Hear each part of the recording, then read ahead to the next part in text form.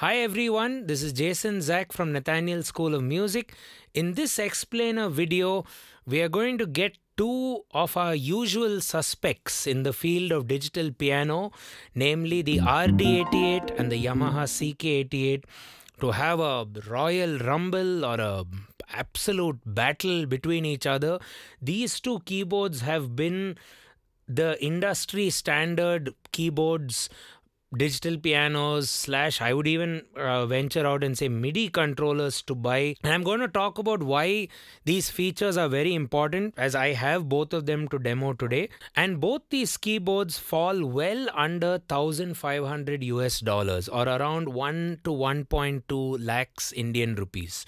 Okay? So the reason i have them is a plenty it's not just because of the cost the cost is a factor yes because if i have to let's say buy a yamaha montage which is you know the ultimate so called uh, keyboard arranger workstation a it's too heavy and b it's about 5 times the cost of what i have now. And it doesn't sound any better. The ones i have already sound good you know and it's very easy to move around very portable and maybe some of us don't need so many features. We prefer our computer we prefer our DAW to also help us with the soundscaping or the the management of presets and patches as you call it. First of all before i make a case for these two keyboards I'm going to talk about what we are definitely going to rule out in our discussion. We will talk about cheaper keyboards. We will talk about same priced stuff as well, or similarly priced stuff. But we we are going to rule out a few things. What are they? We're going to rule out grand pianos which tend to cost about maybe upwards of 40 to 50000 us dollars. That's a lot of money. You'll also have to manage them.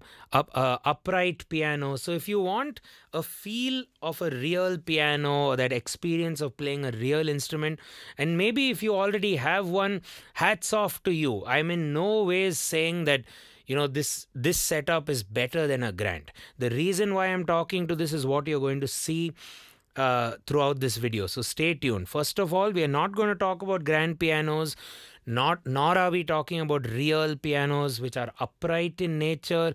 We are not going to talk about what i call as furniture pianos that use fairly average quality wood to make them because of budget. The, the wood itself can get cracked uh, and it's again impossible to carry overly priced and to be honest the furniture pianos as i call them actually sound bad when compared to what i'm going to show you today. So uh, yeah grand pianos and uprights the other concern with them transportation as you know becomes near impossible but also you'll need a piano tuner so you need to find your local genius because tuning a piano is an art form. So you don't have too many piano tuners out there at least in the south. I think i can just name two and we've had a bad experience with one. So that leaves me with just one. So uh, yeah having a real piano in a in a place which is very humid might also need a humidifier. So you need a lot of things to to go well for you to have an actual piano. So, for the remaining lot of us who still want to play piano, and I've had some great history of playing a real piano as well. My first house, when we grew up, there was this beautiful upright piano which my granddad, uh, Walter Nathaniel, inherited from the British reign ruling time.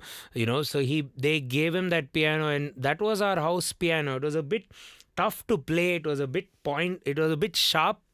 I used to cut my fingers a lot, but it was what I learnt with. So I will in no ways talk ill of a actual piano except for the cost and the portability you know because uh, those are real world issues so coming to clavinovas which you see a lot in schools and churches. Again i don't recommend clavinovas. Supremely heavy. You need a lot of labor to move it around. And they don't sound any better than what we are talking about today. So what to rule out what i'm not going to talk about in this video or, or not fight with at all are grand pianos, upright pianos, furniture pianos with cheap quality wood and clavinovas. So the first point I want to address is why on earth do I have both? I am not endorsed by either Roland or Yamaha, but why do I have both? It's not because I just ended up getting both. There's a specific reason. So one piano I keep in my studio as a kind of a permanent setup where it's all routed and connected to my studio setup. The audio cables are patched, the MIDI cables are patched, so it's set up for production. The moment I put my computer on, I can record, produce music, and it's quick. Even if I want to get the onboard sounds, I can. So currently, my Yamaha CK88 becomes the studio keyboard, but it could so easily change because both keyboards have almost the same features and they are super light. So one person can just carry it and move it around. It's very easy. And the other keyboard will go for gigs for shoots. So if i'm doing some production work which is very urgent right now with this keyboard, I can have the other keyboard packed and it's already at the venue. So if I have an assistant, the assistant will set it up on stage and keep it ready, and I can continue doing my work and just head over there for the sound check or whatever. So I really need two keyboards. Plus, my mom is a church musician, so we need to take one of these out on Sundays for our church service. So many reasons, and also if we have a party, if, if I'm going to a friend's house. Another reason why I have both of these is I can pick up either of these. They are, they both fit in a they could even fit in an auto. They are very light. And a fun fact, the cost of both of these will still not even come close to the cost of a Nord or a Yamaha montage. It'll not, not even come close. And it gives me the best of the patches from Roland and it gives me the best of the patches from Yamaha. So that's a fun fact. That's something to keep in mind. So you don't need those fancy keyboards, those arranger workstations, which I'm not going to talk about because it's very scary. There are too many buttons. Drums could play out of nowhere during a sad theater moment, you know, and you they'll all blame you, obviously. So you need to be a bit careful with those arranger keyboards. Very tough to set up and not fun if you're a piano player, if you ask me. We'll cut that out. Some people will. No, we should keep that. So now I come to why I chose these specific two keyboards, which were within my budget of 1500 US dollars. First of all, I've already mentioned both are lightweight, portable, uh, great for carrying for gigs and also managing flight costs. The weight of these is almost the same, around 29 to 30, 28 to 29 pounds. One person can carry it for your gigs very easy, and you can get a easy keyboard bag, rainproof, protective case made for it.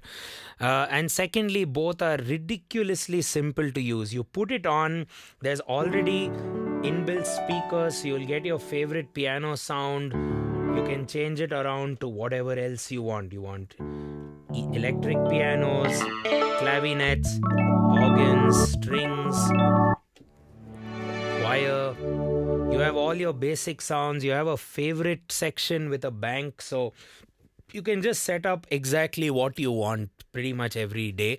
If I do the same thing on the Yamaha CK88, again, it's the same piano, organ, brass section, guitars, strings, and so on. So you it's very easy to use, very easy to just get started immediately. As I mentioned earlier, both have inbuilt speakers with their own speaker EQ. I I learned that after buying it actually. So you can actually EQ the sound of the piano to your heart's content. You have an EQ for the Yamaha CK88 right here, and for Roland you just have to go to the settings and you can figure that out. So when you're jamming with different musicians uh, you also have a eq when it's on a table and when it's on a stand. So that's really cool if you ask me. Uh, then both have notation stands. So if you if you're a reader if you read music you can uh, but it doesn't come with the keyboard, which is rather unfortunate. So you'll have to buy that separately. Uh, both offer line and mic level input. So what that will allow you to do, if you are a singer and you want to do small gigs, you can plug in a guitar into your keyboard. You can plug in a mic and and just sing So you can perform a gig where the output of your keyboards, either of these, will also be a band. It can be keyboard plus one guitar and one singer, which could be you or your friend. So that's a very cool feature. Uh, both are trusted brands. Yamaha and Roland are probably the oldest piano manufacturing or keyboard digital manufacturing brands and both feel absolutely awesome they feel sometimes they might feel even better than a real piano. They just have some great great touch and the feel is very inspiring for both in my opinion. Uh, kurzweil comes close. I really love kurzweil as well. Um, Nords are okay. Casios i don't like Korg is okay. So I really love the feel of these for my kind of playing. That might be subjective, but in my opinion, Yamaha and Roland are tried and tested brands. They have great feel. You can just go with anything. You can even go for the basic Yamaha keyboard or the basic Roland FP series keyboard or the Yamaha P45, and even that will feel beautiful both have live sets for very easy and quick gigs so you just press any of your buttons and your patches just show up for your concerts. You can do a quick show with just pressing these buttons. So you're playing piano, you want to go to electric piano, you want to do clav, organ, it's all there. And on the Yamaha, I guess it's a bit more easier to manage. You can go to your uh, own bank, and in your own bank, you can adjust the sound. So this is my first patch something you could use in a church, then something in more in a rock band, something jazzy. So you get the idea. You have these both have live sets which are great for for doing shows. No need to go into settings and find things and select different categories and yes there are banks and so on but it's very easy to set up. It took it took us in the studio about five minutes to just get this up and running and it was very inspiring. Uh, both work great for old school 5 pin din midi as well as USB connectivity. So, a lot of the MIDI controllers out there, a lot of the more cheaper ones, or even the expensive ones, might forget to give you a basic 5 pin MIDI DIN port, which has been around for years. So, you need both. Very very important. The scalability and the usability will will be will be multiple cases. The other thing i'd like to point out with both of these is they don't have all your touch pads and all your flimsy knobs and faders. They're all pretty heavy duty uh, so I think they will last. I don't have to get a tech to fix this, and I can trust them to work. Like a lot of these MIDI controllers, if you start hitting them after a couple of years, you know, tapping them, they start sending MIDI messages which can be tracked by any basic uh, uh, DAW. So you can find that oh, my keyboard is sending wrong signals. It's sending in a uh, MIDI which I don't want it to send. So uh, I don't really recommend the MIDI controllers out there. Maybe Arturia Keylab 88 or Native Instruments Komplete A- Control 88. Those are I've played on those. I still don't like the feel to be honest, but those are good. But again, supremely heavy and I think a waste. I, I'd rather get something like this because I can put it on, it works. I can get all my patches. I can even record those patches because they sound great and MIDI is right there. You can even hit the assign button, for example, on the Roland or on the Yamaha, it just works. And all of these now work as MIDI. Uh, send control continuous control messages to your DAW. You can use this to even control your digital audio workstation. So one thing I found is Roland, Yamaha, and all these so, so-called keyboard and digital piano making brands, they don't talk about themselves as MIDI controller people. They don't brand it as a MIDI controller. But deep down, this is very much a MIDI controller. There's nothing wrong about it for doing MIDI work. So now we've set up the stage. We've kind of introduced the two boxers into the ring and we've talked good about both of them. Now we need to actually compare them and see who is better and who wins. Because if you are trying to buy one, which is the one that might work for you? So I'm going to do this in three stages. First of all, I'm going to do an actual tech comparison where it's not my opinion, it's just what the tech says. It's what your keyboard manufacturer actually has given you in the manual and has portrayed on their company website. And i can tell you since i have both whether that's true or false. Then i'm going to talk to you about why each keyboard destroys each other or why you would want this over the other in terms of the small things to keep in mind as well as the big things. Very important uh, game changing things. So stay tuned till the very end for the uh, game changing big things to keep in mind. So let's do a basic comparison between these two instruments by going to sweetwater.com. Sweetwater is a great place to check out products, even if you're an Indian like me. Uh, so I've just put both these keyboards in the comparison chart. Let me try and zoom in a little bit for you. There we go. So Yamaha CK88 is on the left, Roland RD88 is on the right. So first off, you'll see the costing varies. You'll find the uh, CK88 is a bit expensive, but I found in India it's pretty much very similarly priced. Now, both are stage pianos, which is great. The sound engine, I have not understood this so much, but in the with the little I know, the Yamaha kind of wins here. So basically Yamaha has dedicated organ flutes. So for example, if you put pull up an organ patch, all of these will work just like how you would be playing a traditional organ. A H, I would presume, stands for Hammond. So you can bring out your drawbars, the lows, and the highs. I tend to be a bit cautious about the major third, which is the uh, 3 3 by 5 because if you play a minor chord sounds a bit annoying. So, so you can do a nice real world control. You can adjust your rotary which is your Leslie speaker settings. You can even stop the Leslie intermittently. Then you can have percussion can adjust the harmonics which the percussion is giving you. Is it giving you the second harmonic or the third harmonic? Is it soft or fast? So it basically makes the keyboard a lot more clickier and adds that extra percussion layer. And then of course you can drive it further by well adding some drive. You have two kinds of drive. This is more deep purple kind of.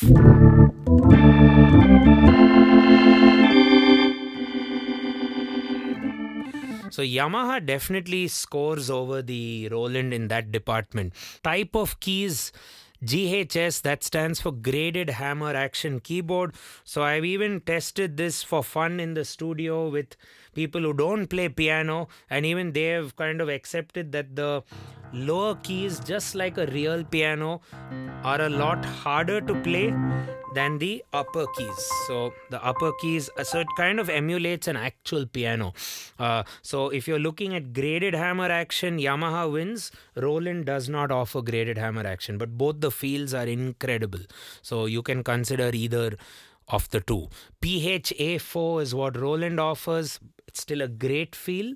Uh, in fact, I love playing on the Roland still till today. Even after getting this second, I still enjoy the Roland. Um, Roland has this thing called escapement where if you play something soft, it kind of you feel that force or that recoil hitting you. Uh, while the Yamaha is a bit more, it, it just it, it feels like you've it doesn't come back at you. So if that's a small feature you prefer, you can go with the Roland. Uh, Yamaha has pretty much the same mod wheels as Roland. Yamaha has uh, mod wheels, faders, and pitch bend. So does the Roland. Both have sufficient amounts of each. Both have enough and more presets so i wouldn't compare and contrast. Both have very good effects. Both have great audio input connectivity. Both have audio outputs. And uh, by the way both are also audio interfaces. Both of them are usb audio devices. So you can use either of these connected to your laptop and produce music. Both of them have headphone connectivity both of them can send usb what i like about the yamaha ck88 to point out the ck88 has midi in midi out as well as usb Roland RD88 has only MIDI out, so it doesn't have MIDI in. So what I have to do, or what I end up doing here is I play a key on the Roland, I take a MIDI cable and I send it to the Yamaha, but I can't do it the other way around. So that's a bit. Roland could have easily put another one, I guess. Uh, coming to Bluetooth, this is where Yamaha really scores. You can basically play a song on your Spotify or YouTube or whatever from your phone Bluetooth pair it to this keyboard, play it on the keyboard speakers, which are really awesome, and just jam, just practice or just listen, have some fun. So that may be a game changer for some of you.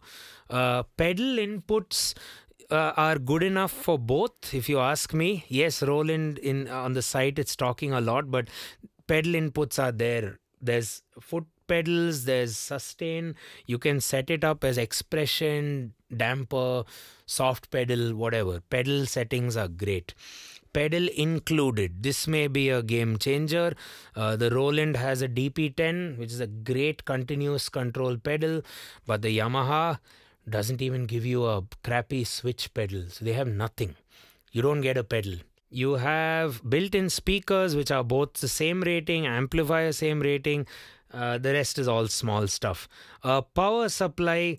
Uh, eh, when I bought the CK88, the adapter was not included, and I think that's the case. Maybe it's not the case for you, but in either either ways, the Roland AC adapter is incredible. It's a proper looks very well built. The Yamaha adapter is absolute. I mean, it, it's really bad to be honest. So the Yamaha adapter and the Yamaha pedal which isn't even didn't even come is a problem was a problem and the stores also didn't know about this when i called them I, they, they said yeah we gave you the keyboard where's the pedal i said there's no pedal well then we went to the site and apparently Yamaha doesn't send the pedal. Why Yamaha? Why do you do that? Coming to the dimensions and the weight, the height of the Roland RD88 is strangely very, very annoying for me in a studio. So the depth of the Roland is very less compared to a normal keyboard. It's just about uh, 10 centimeters if I'm not, yeah.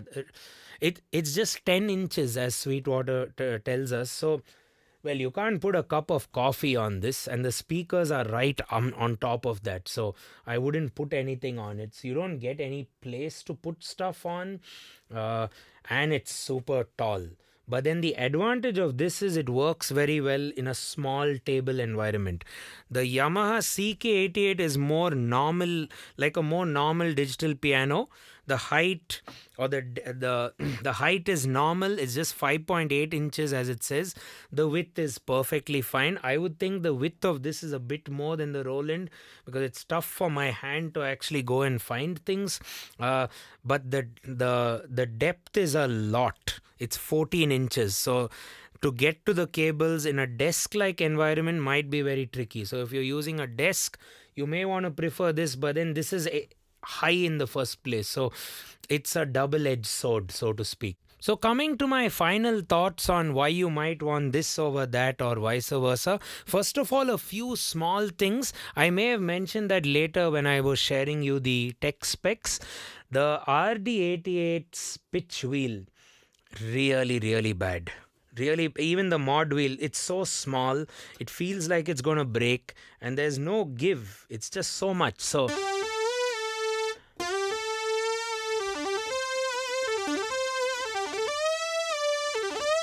So if you're a synth player, you're gonna hate this.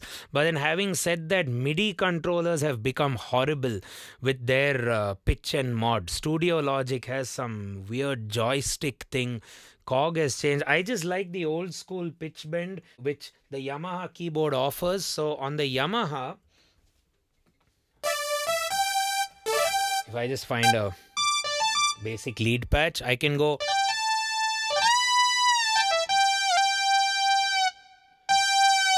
I really like that drop of the pitch.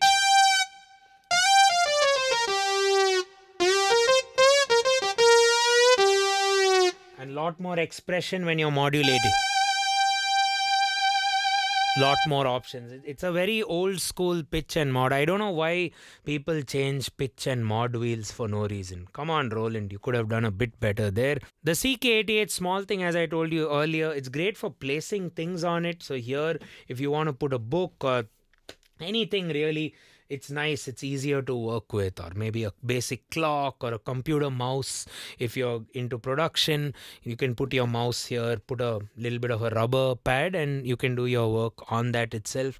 The ck88 has a lot more knobs and faders for midi. So if you set it up really well you can do a lot of work for midi. You can get pretty much anything to send midi data to the computer. Of course you have to enable that in settings. Uh, Roland, in my opinion, since I prefer something more simpler, I would love to use, I would prefer something like this on stage because it's very well designed for live playing. It's just near my hand, so I can control it very easily. So I prefer the Roland there, in uh, my, my humble opinion. This I've already mentioned earlier. The action is subjective. You get the Roland 88 being a lot more harder action whatever your touch settings are, the action will still be a bit harder because it's not getting easier as the upper keys are being touched. While the Yamaha, it gets a lot more easier when you play upper. As I'm testing right now, I think the Yamaha is a lot easier. This is the same with all Yamahas from the basic P45 till the very end montage stuff. The other thing I learned after buying it, this was an additional bonus, is the CK88 is battery powered. That may be huge for some of you who have power shortage issues. You just have to put in a few batteries and it's going to work completely fine. So this huge monster of a thing can be run on basic batteries. So that's something to keep in mind. And lastly, the DAW line levels, the line output levels coming from the Roland, I couldn't find a way to adjust them, but on the Yamaha, it's very easy to adjust depending on the devices you use. The line levels can be adjusted very well. That may be a small thing. Now, coming to the big things, the game changers, what you might really find very important. First of all, you're already spending a lot for these two things, and Yamaha doesn't give you any pedal. And at least in uh, India, buying it, they didn't give me an adapter as well. And no one told me which adapter to get. It was completely not mentioned to the distributors or the dealers. No one knew. So I would encourage Yamaha to just consider this and give people a, a pedal. And also, there's no knowledge of the pedal. So if you're giving a a pedal with such a good keyboard, it's a great keyboard, you might as well recommend your customer and just insert it, charge a bit more, and get them this pedal. This is by Yamaha itself, ironically. It's FC3A. This works so well with this. This has half damper. Now, for a newer person, they may not know this stuff. They would want this annoying switch pedal which looks like a sustain pedal. Or earlier, Yamaha used to give those tiny switches, which, my man, I've never used that for anything useful in my life. Remember, you're giving the user a proper, great feeling piano. This has escapement, this has graded hammer action, why do you give such crappy pedals and also why do you not give pedals in this case? And no adapter also. So that was a problem. You might want to check with your store before buying it. Maybe they will package it differently. Maybe that experience works out. But if you're getting a pedal get a fc3a don't get an fc4a that's just a switch FC3A is a proper piano pedal. So get this, it's worth that extra 800 or 1000 rupees. Yeah, and then the next game changer for me, at least I'm considering this for live, would be CK88 can manipulate three patches at the same time. And the RD88 can do two, but it's very, very basic. RD88 is like your normal uh, digital piano in that sense. You have these three knobs which are assigned for live sets. Now, by default, when you put it on, your piano would be on one. Then I have two more. So I just have to hit this on and maybe select another patch, which is something in this case called a bell pad 1 and you can control the volume of that separately right here. You can adjust the split of that, the way it is split. You can even adjust the split point of the keyboard if you want to do like a bass in in part C and the colors are initially I hated the colors because they were too bright but I see why they've made it so bright because it's very easy to find your settings because if you do bell pad whatever settings you do for the bell pad Maybe you want to do a chorus.